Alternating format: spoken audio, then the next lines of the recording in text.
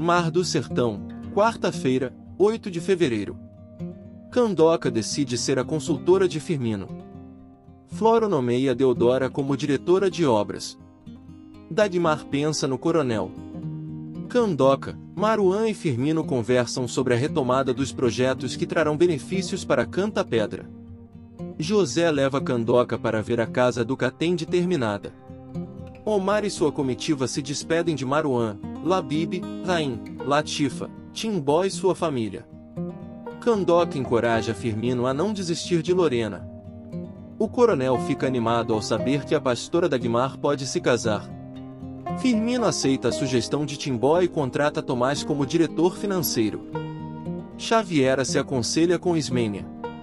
Timbó inaugura sua plataforma petrolífera.